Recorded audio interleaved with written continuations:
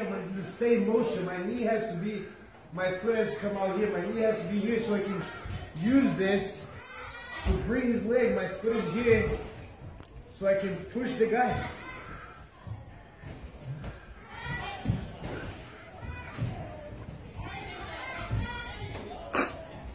And this control here is important because from here I open a lot of the, a lot of things for me. If I have put both both hands on his sleeve, the guy can easily walk around.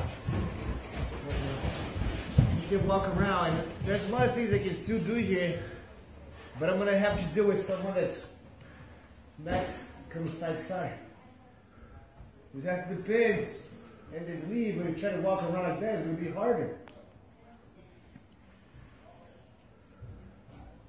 Okay, try to move. So he doesn't move as much no more. So I catch that time when